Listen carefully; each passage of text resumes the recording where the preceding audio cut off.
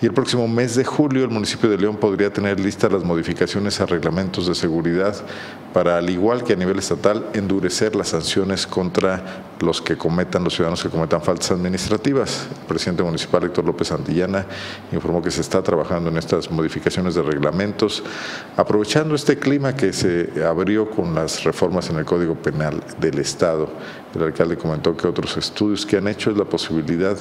de que los reincidentes, es decir, de faltas administrativas, realicen labor social o comunitaria para reparar el daño.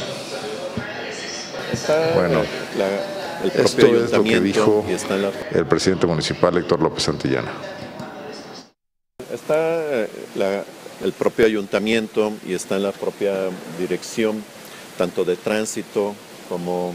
eh, de árbitros o eh, de oficiales calificadores, trabajando en cómo poder establecer medidas muy pecuniarias